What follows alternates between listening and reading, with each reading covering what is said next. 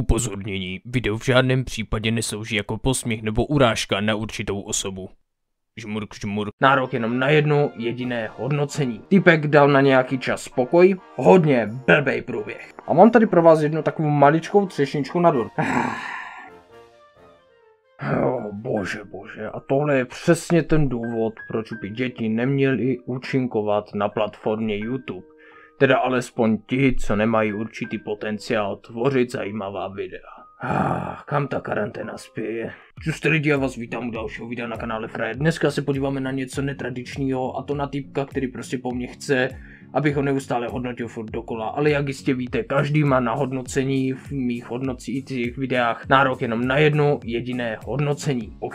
Já si myslím, že srozumitelné je to prostě dost na můj vkus, protože pokud už si byl jednou zhodnocen, nemá smysl, aby si byl zhodnocen dvakrát. Tuto sérii můžete maximálně vidět u Nejfejka, který vlastně někoho zhodnotí a za několik měsíců se na ten kanál jak kdyby podívá znovu, jak se ten týpek za tu dobu změnil, zlepšil, zhoršil, skončil. Asi tak nějak. Tenhle ten ten člověk na kanále Crazy Dog, což je vlastně ten typek, co mi píše, tak měl už jedno videjko a v tom videjku vlastně měl od Portio Song, tuším, že to zrovna byla ta 22, kde tam měl napsaný text, jenomže já jsem mu řekl, že ten font toho písma je prostě nesmyslný, že to nejde přečíst, ať zvolí něco, co tam bude samozřejmě normální, protože některé znaky mu to prostě nechtělo vzít, to se občas stane, některé fonty to prostě nevezmou. Typek dal na nějaký čas spokoj, teďka uploadnul znova experiment nějaký, jo, a teď je tam zase problém s textem, protože nejde přečíst to, že bílý text na světlém pozadí na hlavu úplně. Ale my tady nejsme kvůli tomu. My jsme tady kvůli tomu, že tenhle ten týpek uh, je tak mega otravný, že mi píše neustále samé komentáře. Uh, začalo to hodnocením kanálu hashtag 5 což byl pátý díl mého hodnocení, celkem úspěšný. A tam vlastně e, přišlo upozornění, že mám nového odběratele Crazy Dog a napsal mi pod to video, že prosím zhodnot mě díky moc. Pořád, zhodnotili jsme ho, všechno OK.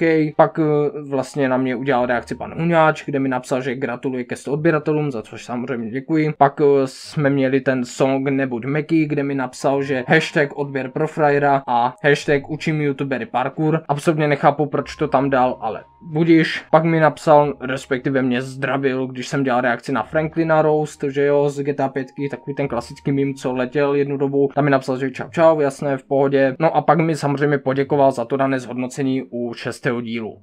A sranda je to, že od tohle typka už jsem měl celkem 8 upozornění. Odběr, neodběr, odběr, neodběr, odběr, neodběr. Nechápu teda proč. No a posledním vlastně bylo před jedním dnem, kdy mi napsal nový odběratel Crazy Dog, mi to napsal upozornění. A hned nad tím komentář uživatele Crazy Dog. Ohodnotil by si mě zase teď, zase jedu od nova. E, ty už se ho oznova předtím, pokud se nemýlím, a to, že skopíruješ něčí video, není tvorba, ok. Je tady ale jeden základní problém. Já tě nebudu hodnotit po druhé, to v žádném případě to za prvé. A za druhé, jestli míníš takhle spamovat i ostatní youtubery, včetně mě, tak uh, se na tenhle kanál už prosím nevracej. A to teď myslím celkově. Pokud si myslíte, že tady tímhletím si nějak prospějete, ne, Tady tím se naopak odpuzujete. Měli byste se to už naučit, dětičky moje, protože tohle jinak bude hodně blbej průběh. A tenhle člověk si rozhodně nezaslouží pozornost, ale řekl jsem si, že mu udělám takové menší videjko a tady Bráško ti řeknu pravdu. Absolutně se mi nelíbí tvůj přístup, absolutně seš otravný, doslova a neměl bys být vůbec na platformě YouTube. Nezlob se na mě, já jsem upřímný člověk, řeknu to na rovinu, ty tady nemáš co dělat, OK? Já si myslím. Tohle tady jenom k tomu, a mám tady pro vás jednu takovou maličkou třešničku na dortu. Petervko napsal, je to skopírované. Kdyby to video bylo skopírované, ten song, tak to vypadá úplně jinak. A já ti teď předvedu jak. My si tady prostě dáme vyhledat.